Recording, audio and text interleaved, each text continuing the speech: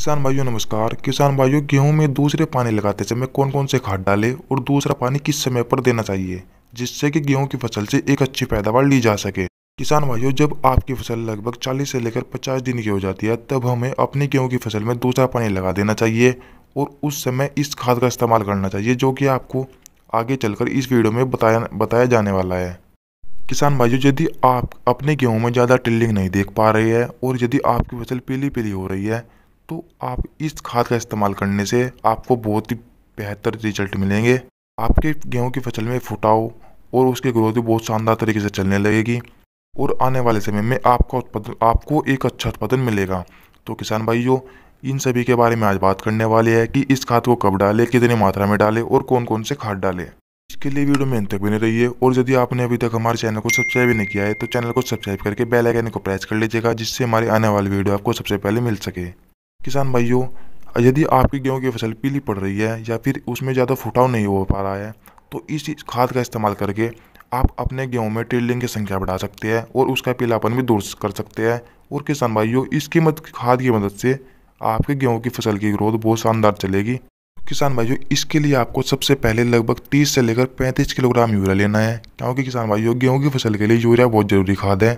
गेहूँ की फ़सल में आपको यूरिया का इस्तेमाल 50 दिन से पहले पहले करना है इसलिए आपको इस समय पर 30 से लेकर 35 किलोग्राम यूरिया अवश्य लेना है। क्योंकि भाइयों 50 दिन की अवस्था होने के बाद गेहूँ की फ़सल को ज़्यादा नाइट्रोजन की आवश्यकता नहीं, हो, नहीं होती।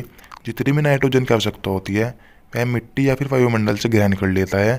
इसलिए हमें पचास दिन से पहले पहले ही यूरिया का यूरिया के बाद बात आती है माइक्रो न्यूट्रन की क्योंकि माइक्रो न्यूट्रन टिल्लिंग कराने में बहुत ज़्यादा मदद करते हैं। इसके लिए आपको लगभग चार से लेकर छः किलोग्राम सागरिका लेनी है। सागरिका इप्को कंपनी की आती है। सागरिका में बहुत छोटे छोटे पोषक तत्व होते हैं जो हमारी गेहूँ की फ़सल के लिए बहुत ही महत्वपूर्ण होते हैं। सागरिका एक बहुत ज़रूरी खाद है। यह सबसे अच्छा और सबसे सस्ता ग्रोथ प्रमोटर है।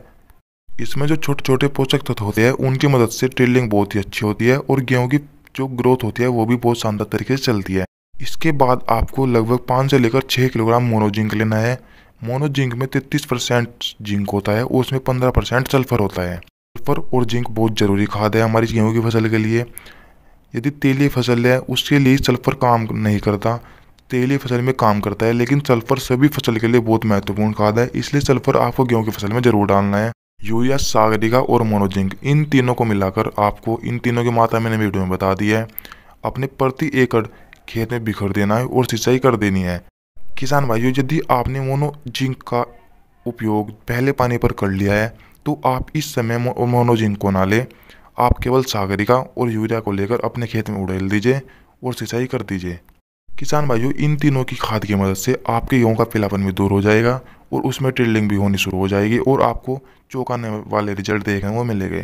तो किसान भाइयों, इस तरीके से आप अपने गेहूँ का पीलापन दूर कर सकते हैं और उसमें टिल्लिंग की संख्या बढ़ा सकते हैं। उम्मीद करता हूँ जानकारी अच्छी लगी होगी। जानकारी अच्छी लगी हो तो वीडियो को लाइक करना और यदि आप हमारे चैनल पर पहली बार आए तो चैनल को सब्सक्राइब करना ना भूलें। मिल जाएगा नए वीडियो में नए जानकारी के साथ। तब तक के लिए नमस्कार।